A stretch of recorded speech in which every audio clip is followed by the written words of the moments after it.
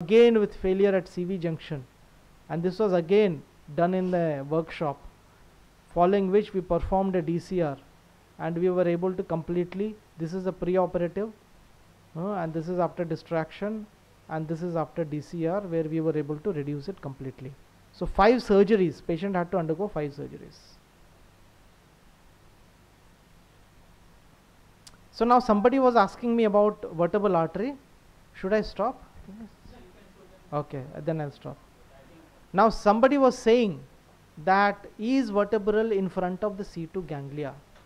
Yes. And this is what I learned the hard way. Then I went back to embryology and I found that vertebral artery is always anterior to the C2 ganglia. So if you find an anomalous vertebral artery, when you go inside, you will not see the vertebral artery unless there is a loop above. You will see the C2 ganglia. Do not cut the C2 ganglia confidently because the vertebral will be in front of that. Now this is exactly what happened here.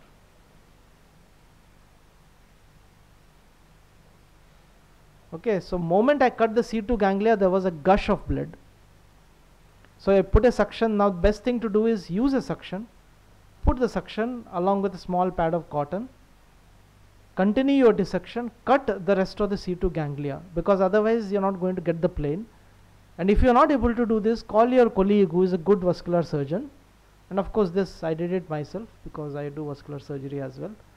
Uh, cauterize the venous plexus because you can have a lot of bleeding from the veins and that can actually confuse you. And then finally ensure that the vertebral artery is exposed using a dissector to expose the vertebral artery. Put an aneurysm clip both proximally and distally. So that's a prox uh, distal clip, this is a proximal clip. Again there was some bleeds from the veins which I control now. Now you can see the rent beautifully. Now I open the proximal distal clip and there is a good backflow which gives me a confidence that there is a good filling up from the opposite side. You understand that? So once you have then you have some time for the repair. So now you can use your fine suture material to do the repair. I prefer an A2 suture.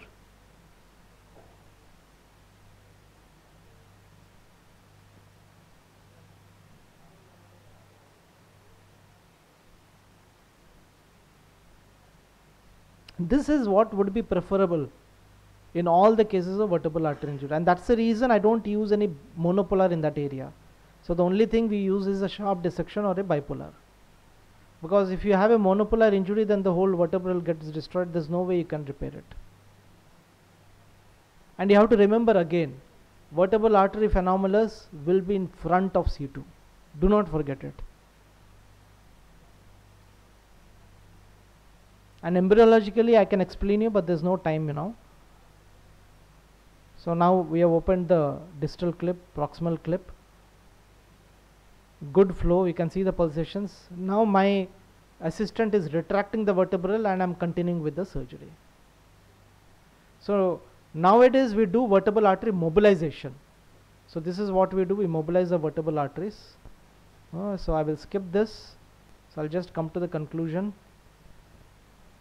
so basilar invagination is usually due to congenital anomalies and may be associated with AED. So if you have basilar invagination, it's usually congenital. DCR we have found is tailored, customized. So you have to look at the sagittal inclination of the joint. If it is 90 degrees, a simple DCR will do. 100 to 160 degrees, you will have to drill it. Becomes a straight, do an extra articular.